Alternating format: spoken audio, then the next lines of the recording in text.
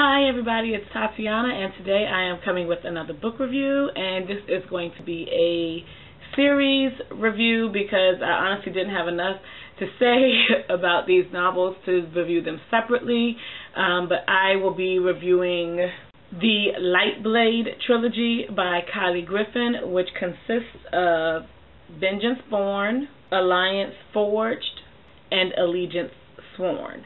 I read all three of these novels in the month of months of May and June. I ended up picking up this trilogy. I hadn't heard anything about it before and during a time period where I was just into buying shit, I saw it on Book Outlet and the synopsis for the first book sounded interesting and so I said okay well it's a trilogy it's just three books and I think all three were under $3.50. So I said, okay, go ahead and get it, see how you like it. Hopefully it's good. The synopsis pretty much of the entire series is that it is, it follows the story, each book follows the story of two characters uh, with some supporting characters along the way. The human race is subjugated to the rule, slavery, and abuse of a race of demons called the Naresh. And you have the world is basically split between Naresh territory, what would be the middle common ground, and human territory. And you have the Nahord or Nareshi warriors on the side of the demons and the Lightblade warriors on the side of the humans. And the Naresh goal is to come and take human slaves, to do their bidding and fuck and screw or use however they want to. And the human goal is to avoid slavery, kill as many Nareshi as possible, and if they can, when they can, liberate their human counterparts who have been kidnapped and sold into slavery. The three stories follow two different characters uh, in the first book, and I can go ahead and tell you that because it is in the synopsis of each story. Um, the first book follows uh, Anika and Kaylin. Anika is the half-blood daughter of the savage Naresh leader, and Kaylin is a human Lightblade soldier who has been kidnapped. And when Anika is told by someone in her confidence because she does not live the privileged life being the daughter of the Naresh leader because she is half-blood. She is considered less than and she is mistreated, abused, and mocked by her father as well as his Nahord who would be his soldiers, those who are serving under him. He's like the king. And the soldiers or his underlings, they all treat her like shit. And so when she hears um, about Kaylin being kidnapped and in jail. Then she approaches him and offers him the opportunity to be free again under the circumstance or stipulation that he would protect her from the Naresh as well as the humans once they get back into human territory.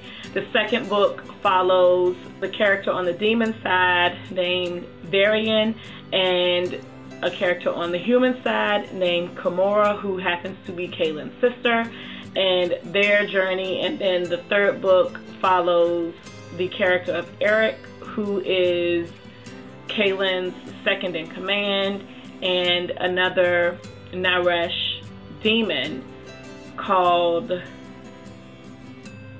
Amara. And so all three stories are separate. You don't have to read the three of them together. However, I don't think that you would really like the series if you didn't. And I say that because I did not enjoy the first book and probably the first half of the second book. I gave both of those two stars. Uh, really, the first book is a solid two-star book. The second book about two and a half, close to three, but not quite three stars. The third book, I would give three stars, but by then I was invested in it. I knew more of what was going on. Uh, I didn't like the way that the stories were written. I didn't like some of the voices in the stories. The first book starts off and I felt no connection to the characters whatsoever. After reading books after reading book one and then getting to book two and three, I felt more of a connection to the characters, but that's because they appear in the other story. So you feel a connection to them because you know more about them than you know about the main characters in the first story when you start. I just I didn't like the first book. There's some things, some phrases that are used and some the way that some things are said that just annoyed me. I was like you're trying you're trying too much. A lot of the swearing that takes place now, I you know, I don't mind an occasional shit or not occasional. I don't mind, you know, shit, fuck, damn. I I don't mind that. But what would be in our vernacular as holy swears, I'm not a fan of. And a lot of the swearing that takes place in the book, they're not shit, damn, fuck. They are what would be holy swears. Like they're they're basically cussing, but they're saying something like goddamn. But it's to the deity that she has created, that Kylie Griffin has created uh, for this series. So I wasn't a fan of that. Uh, I wasn't a fan of how the communication between their deity and what would be their temple elect took place and how that was put forth in the book. Too too many italics. Everything that the deity said was in all caps. So all you when you read something that's in all caps, it's like they screaming at you. Not that it's somebody who is supposed to be or something that's supposed to be this great force that's having this private conversation with you. So instead of it saying, "Hi Tatiana, how you doing?" It's like, "Hi Tat, how you doing?" And I'm like, "This is too fucking much."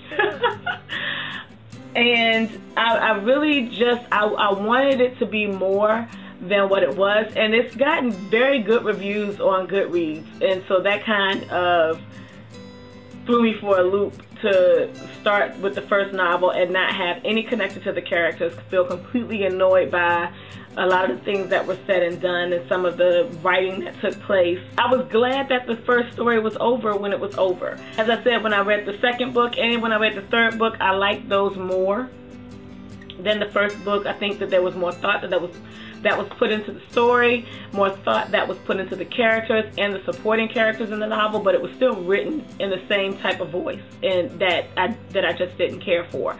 It kind of reminded me if you are Resident Evil fans. The only benefit of the first Resident Evil movie is that it sets the stage for the rest of the series. The first Resident Evil movie sucked, but it sets the stage for the rest of the movies in the series. That is what Vengeance Born was for this series. Were it not for this, I don't think I would have enjoyed these as much because I would have just been thrown into these characters just like I was thrown into these characters and I would not have had a connection with these characters just as I didn't have a connection with these characters. I I wouldn't suggest reading this. Uh, I'm not going to keep these. I, I'm pretty sure that these are going to end up at Goodwill. Even when it got to the end of Allegiance Sworn, and this was of the trilogy. This was the most my most favorite of the trilogy. I did give this one three stars, but even as it gets to the end of this, it's like the story is not complete, which can be understood. It's a story of slavery and racism and, you know, years and centuries of conflict between two races. So it's, you know, it makes sense that the story isn't finished. However, for it to be a trilogy and written the way that it that it's written, some things are oversimplified, some things are it's just like she sat down with a thesaurus and was trying to pull out some different ways to say things that just did not it for me didn't roll over well but for to put all of that effort seeing what seems to be effort into these three novels and get to the end of the third novel and the story is not finished it, it, it was a little annoying and pointless um, in my opinion so yeah that's all that I have to say about this. So yeah, I hope you all have a good week weekend whenever you see this video. Peace out.